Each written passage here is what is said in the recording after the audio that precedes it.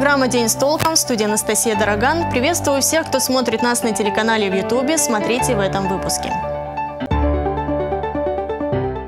Пока блокировка, в будущем экстремистская соцсеть. Куда после блокировки Инстаграм уходят алтайские блогеры и где теперь будут продвигать бизнес? Планы не меняем. У международного терминала Барнаульского аэропорта есть будущее. Они обычные дети. Барнаульская организация «Солнечный круг» отмечает десятилетие. Как родители детей с синдромом Дауна борются за их социализацию и чего уже добились.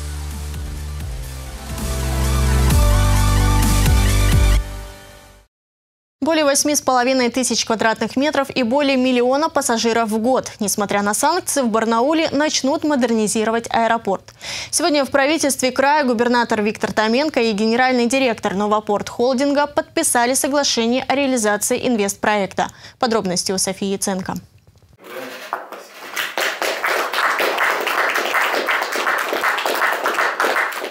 Современный, комфортный и более мощный. Таким обещают сделать Барнаульский аэропорт. Губернатор края Виктор Томенко и гендиректор Новопорт холдинга Сергей Рудаков подписали соглашение о реализации инвестиционного проекта. Сама идея и наши предварительные договоренности с руководством компании они появились уже давно, однако потребовали очень внимательного, скрупулезного изучения, проработки и многостадийных согласований. На реализацию проекта выделено 4 года и около 5 миллиардов рублей. Но в связи с экономической ситуацией и рядом санкций, вложения в модернизацию аэропорта могут увеличиться. Я подписываюсь под инвестиционными обязательствами, что все, что мы сегодня подпишем, будет реализовано в срок и с соответствующим качеством. Потому что это обязательство.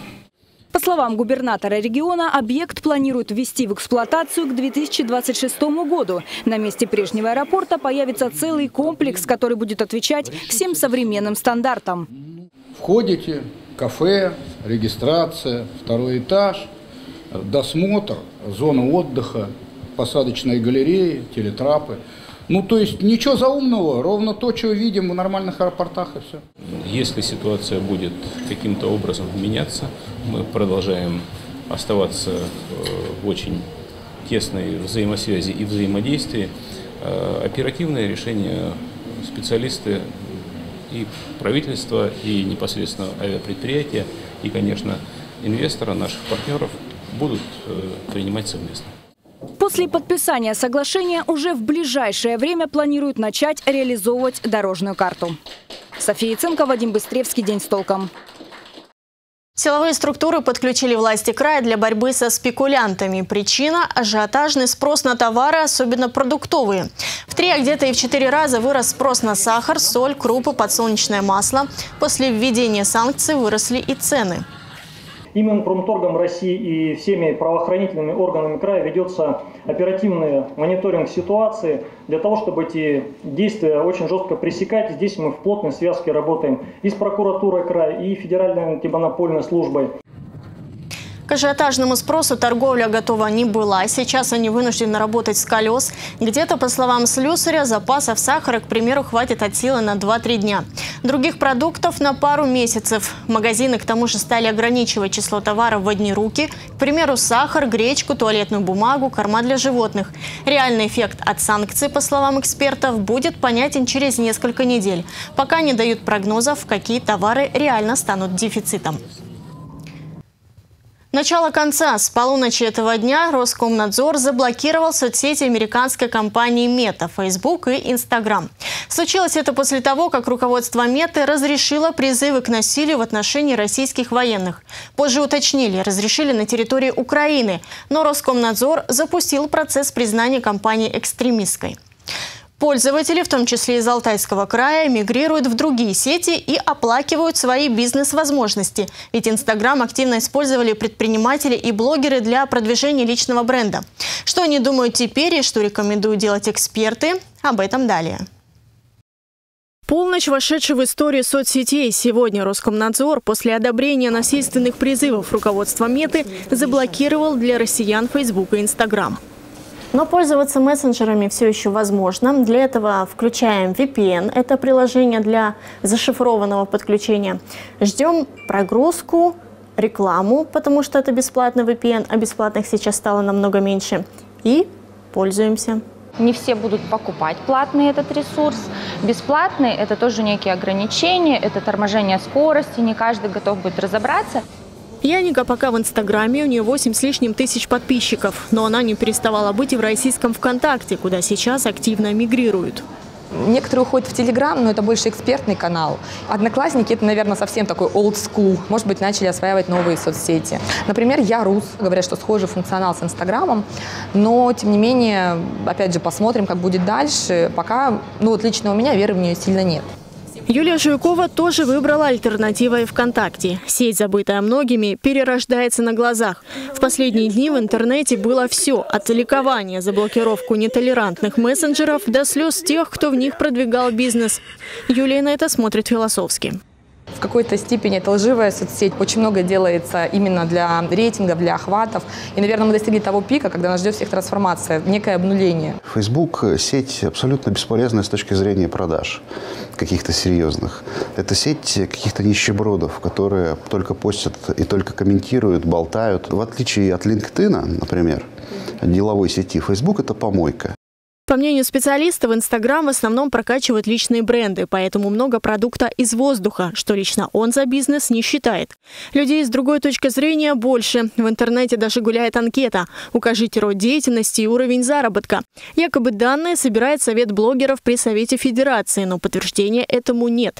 Но все эти поиски выхода кажутся странными, ведь Генпрокуратура направила в суд заявление о признании мета экстремистской организацией. По мнению юриста Людмилы Шкун, произойдет это в кратчайшие кратчайшие сроки. Никаких котиков, никаких собачек, никаких там добрых лайков уже нельзя будет даже делать. Не только делать, но и иметь этот знак, поскольку э, фактически э, можно будет вас привлечь э, к ответственности, к уголовной ответственности, как вы будете уже являться распространителем этого даже знака, этой символики. Но барнаульские предприниматели не отчаиваются. Как маркетолог, я понимаю, насколько обширный функционал, сколько разных каналов. Мы просто про все забыли, мы же ушли в digital, ушли в Инстаграм, выбрали это приоритетным направлением. Существующие сети, сервис MyTarget, Яндекс.Дзен, Pinterest к нему тоже советуют присмотреться. В общем, всем грустящим блогеры советуют быть гибче, приспосабливаться и, возможно, занимать первыми место под новым солнцем. Анастасия Дороган, Алексей Фризин. День с толком. Алтайский край примет 500 переселенцев из Луганской и Донецкой республик, а также Украины. Накануне было принято решение о распределении около сотни тысяч беженцев по регионам России. А вот города федерального значения – Москва, Санкт-Петербург и Севастополь – принимать беженцев не будут. Наибольшее количество переселенцев примут Краснодарский край, Крым, Воронежская, Ростовская, Белгородская области. В общей сложности более 26 тысяч человек. При расселении учитывают место проживания родственников беженцев. Однако, если численность прибывающих превысит допустимый порог, их распределят по регионам страны. Напомним, в Алтайском крае по-прежнему насчитывается 9 семей, прибывших из ДНР и ЛНР. Среди них четверо детей и один пенсионер. Беженцы разместились у родственников в Первомайском Первомайском, Родинском и Тогульском районах. Четыре человека уже получили материальную помощь. Это единовременная выплата в размере 10 тысяч рублей.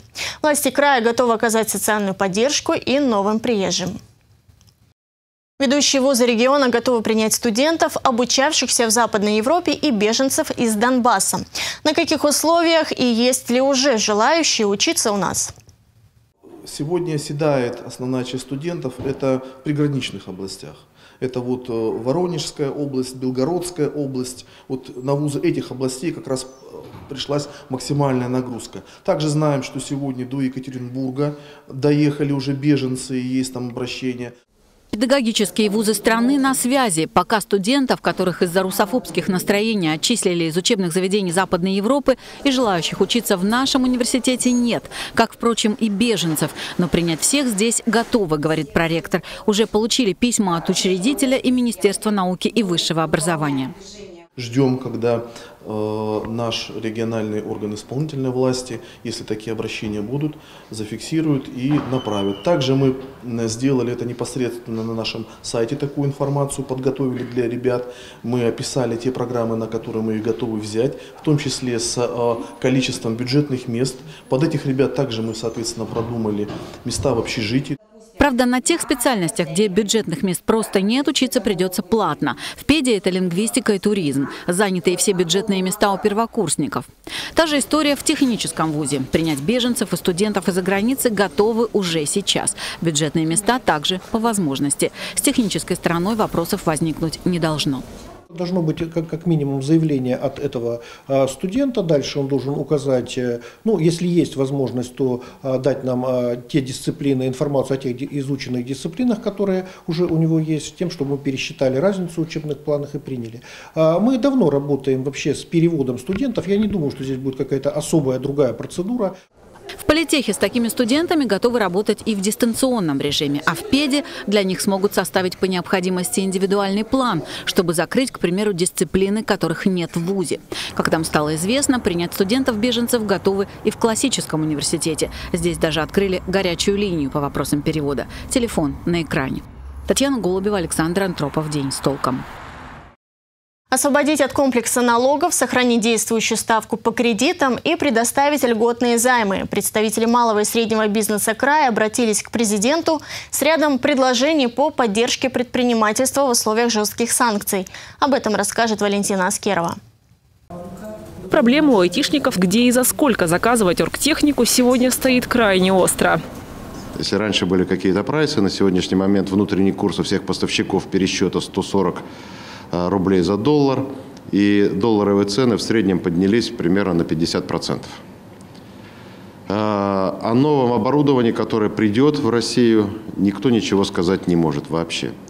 С учетом того, что э, производители, скажем так, э, микропроцессоров отказались поставлять их в Россию, вообще непонятно на сегодня, э, на чем работать. Серьезные проблемы и у пищевой перерабатывающей промышленности. Так, чтобы производить социальные продукты, те же макаронные изделия, нужно импортное оборудование. Нам необходим ЗИП, который тоже сегодня будет проблема, как мы его будем покупать, где мы его будем покупать. То есть э, как мы будем дальше работать. У нас не решен вопрос с сырьем. То же касается э, расходных материалов, которые сейчас у нас, они все импортозависимые. То есть упаковка, то есть мы каждый день получаем письма. То есть повышение цен, повышение цен. Мы еще не рассмотрели вчерашнее письмо. Сегодня там уже пришел шквал писем о том, что опять идет повышение. Вскрылись проблемы и в косметической отрасли. Ведь львиная доля поставок идет за границы. Так, одна из известных косметических фирм практически полностью закупается в Европе и Азии. И что будет с дальнейшими поставками, непонятно. В России ну, практически нет. Очень, очень маленькая доля, которую мы можем использовать. То сырье, которое мы получаем сегодня, оно пересчитывается по новому курсу. Организаторы круглого стола и бизнесмены направили обращение президенту страны с просьбой поддержать предпринимателей, значительно снизить налоговую базу на прибыль, сохранить ставку по действующим кредитам и предоставить льготные займы предприятиям. Ведь предприниматели – это десятки миллионов людей в стране, которые сегодня нуждаются в поддержке государства. Валентина Аскерова, Александр Антропов. День с толком. Десять лет общественная организация «Солнечный круг» отметила юбилей на Алтае. Сегодня это более ста семей, где воспитывают ребенка Дауна. Все эти годы родители боролись за право на существование своих чад. Они добивались того, чтобы такие детки могли жить полноценно в обществе. Но готово ли оно принимать таких детей, узнавала Анастасия Наборщикова. Надеть колготы в пять лет – целое испытание. Как говорит Тати, легче поджарить яичницу. По утрам девочка сама готовит родителям завтрак, из-за чего мама и папа на работу не опаздывают, а еще отвозят Тату к логопеду. Для Татьяны и Александра синдром Дауна – не приговор. Мерси, на площадке ходят во дворе. Да, мы вместе гуляем да. на площадке во дворе. дворе, да. Это такой экшен, ну Мы достаточно развиты, то есть ребенок а, умеет а, считать до 10, да, она у нас считает полностью, или уже до 20, я сейчас а, здесь До 15 До 15 нормально. нормально. А, потом она знает весь алфавит, а, читает по слогам. Права чинишь, а она поломалась? Конечно. Да почему же? Мне кажется, целая. Ну, то есть это у нас сейчас немножко, видимо, в другом направлении используется. Честно скажу, а, состоим а, в группе «Солнечный круг». Мы за э, чатом и общением там следим, и для нас э, любые фотографии, Обмен видео, опытом, а, да. указ- э, указания на врачей, на какие-то проблемы, это для нас всегда информация, из которой мы ну, что-то полезное для себя обязательно берем. В этом чате больше ста семей. В каждой есть солнечный ребенок. В одной даже близнецы. Алена, руководитель, рассказывает, единомышленники важны. Сегодня они семьями ходят в бассейн, проводят арт-терапию и отмечают праздники. Но главное для родителей – поддержка.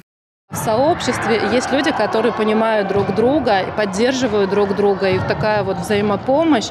Ну и самая такое тоже отличительная черта, что э, э, самые лучшие специалисты для, по работе с синдромом Дауна – это тоже родители, э, у которых есть такие дети. Играет в футбол два года. Силу воли она развила здесь. Из года в год «Солнечный круг» доказывал, что их дети такие же, как и все. Спортивный клуб «Темп» первый и пока единственный в крае, где тренируют детей с синдромом Дауна. Программа тренировок – 80% адаптивной физкультуры и 20% футбола. Всего два десятка спортсменов. Ребятишки боялись подойти к друг другу, забивались в угол, стояли, никому не подходили. То сейчас можно видеть, что они друг с другом контактируют. Безусловно, у них улучшилась и физическая форма. Но вот, э, коммуникация – это, конечно, самое главное для них.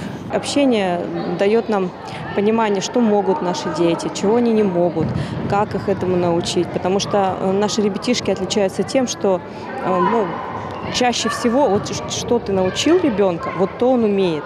Причем это не просто научил, это тысяча повторений.